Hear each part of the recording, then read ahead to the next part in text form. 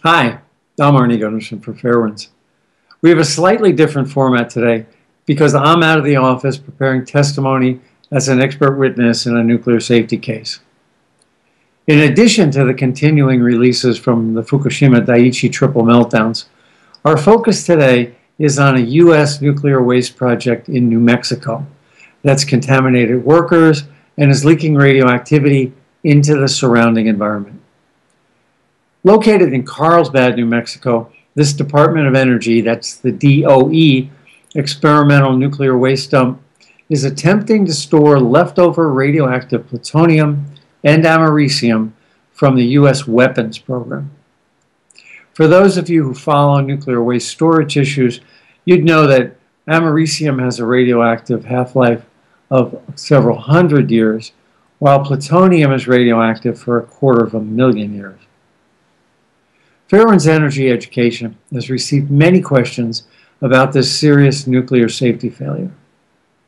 We have continuously been updating this issue on the Fairewinds Twitter feed, the Fairewinds Facebook page, and in press interviews.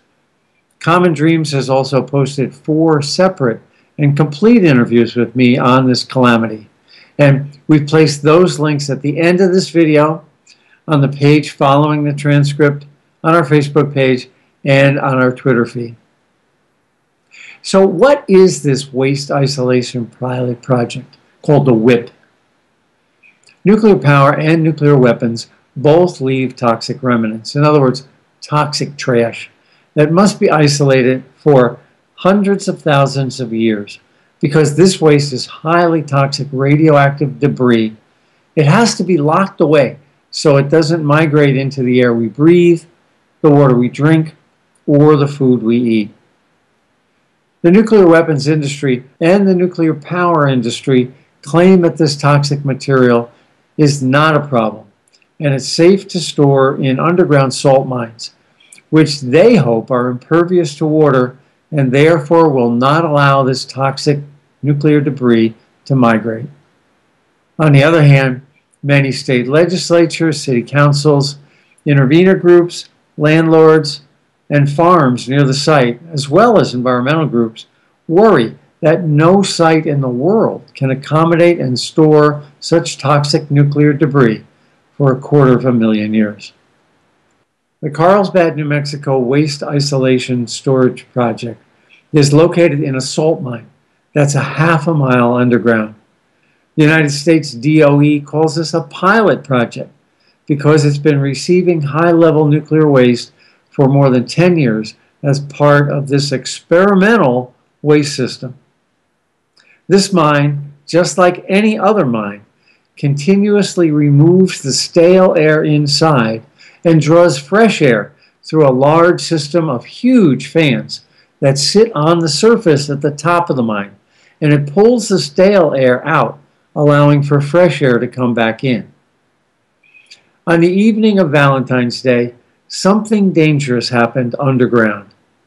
DOE calls it an event, but in my book it's a euphemism. It's a slick word for a nuclear safety failure. It was a leak. It was a spill. Fairewinds has been quoted about this WIPP calamity in Common Dreams ever since February 17th. What do we know? Well, we certainly don't know enough because the DOE has not been honest with us and in typical U.S. government fashion, we're only getting small bits of the actual nuclear safety failure at the WIPP. This is what DOE has told us so far. 1. On the night of February 14th, radiation detectors in the ventilation system at WIPP detected radiation in the exhaust air being released from the salt mine. That exhaust air contained plutonium and americium two types of radiation that are extremely dangerous if they're inhaled, even in minuscule quantities. At first, DOE claimed no one was in the mine when the radiation was released, and that their night shift personnel were in a separate building, and therefore they weren't exposed to any radiation. DOE also claims that radiation filters were turned on within one minute of the radiation release, so that those filters immediately began filtering the ventilation air being expelled from the nuclear waste storage salt mine.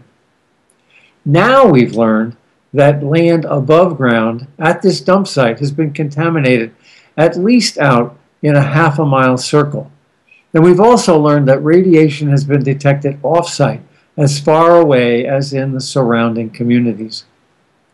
Last Thursday, February 27th, almost two weeks after these radioactive leaks and the nuclear safety failure, the Department of Energy announced that 13 workers who were on site on Valentine's Day when the roof inside the mine collapsed had tested positive for internal radiation exposure. The internal dose of radiation was detected in these workers' urine. More than two weeks after the toxic leak, the Department of Energy finally announced that all the WIPP workers that came on site on February 15th would also be tested to see if they had been contaminated. There's more than 650 employees that work on the site in the day shift. Lastly, the Department of Energy claims that no personnel have been allowed to re-enter the mine since this severe radioactive leak was discovered. But what really happened at the WIPP? Whistleblowers and family members of the mine workers claim that the ceiling in one portion of the mine collapsed, and that when the ceiling collapsed, it fell directly on top of canisters that are storing the highly radioactive nuclear debris. And that caused the canisters to rupture and to spew their radioactive contents throughout the mine and in a radioactive plume that moved off site. Based on the minimal data we've gotten from DOE so far, and it's couched in nukespeak, it's Fairewind's opinion that one, the Department of Energy has, hasn't told us nearly enough information, and independent scientists need more to assess the public health threats and the environmental contamination resulting from the radioactive debris erroneously discharged from the mine. Two, based on the fact that workers and land far outside the mine were contaminated, the underground portions of the mine are likely severely contaminated. Three, there are thousands of sealed canisters in that underground mine.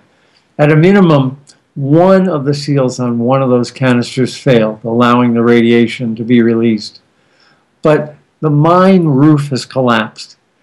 And as claimed by people who are familiar with the site, it's possible that many canisters have failed in some other manner than just the seal at the top. And they've leaked toxic material that was intended to be secure for a quarter of a million years out the ventilation system. Such a major leak would leave extensive underground contamination and make that portion of the mine inaccessible due to high levels of radiation. Next, filters are not perfect and radiation is continuing to be released even though the filters are operational. Department of Energy claims that its filters are 99.9% effective. I don't believe that's true, but let's take them at their word for the sake of a mathematical comparison. 99.9% means that 999 minutes out of every 1,000 minutes, those filters capture every bit of radiation. But for one minute out of every thousand minutes, those filters capture nothing. Okay, let's do the math. A single day contains more than 1,400 minutes, and WIPP has now been venting radiation for almost three weeks. One minute out of every thousand minutes multiplied by three weeks means that the mine has essentially been unfiltered for 30 minutes once the nuclear safety failure began. While the surrounding communities were initially exposed to a one minute burst of radiation at the beginning of this malfunction, now there's at least 30 minutes of radioactive air that has escaped from the mine unfiltered. And finally, as the National Academy of Science determined in its BEIR 7 report on the biological effects of ionizing radiation, all man made radiation causes damage, and there's no level that's simply okay. So we at Fairewinds have four major concerns. The first, How serious is this tragedy and how widespread is the radiation? A WIPP press release offered to test anyone within 100 miles of the site for exposure to this man-made radiation. Can they mitigate the health effects too?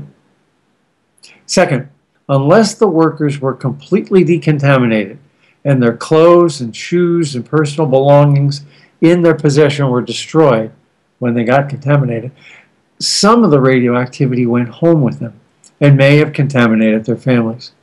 Their families, their automobiles, their homes, their clothing, all should be tested and they may need to be radioactively cleaned up. Did these workers stop at a grocery store on the way home or meet a friend for coffee? Were they wearing the same clothes home that they wore to work? These are not made up concepts. The spread of radioactivity from nuclear workers and hospital workers or patients exposed to radioactivity who then bring that contamination home is a well documented fact around the world. Third, what would happen if the roof collapse had not happened at night, but rather during the daytime when men were inside the mine?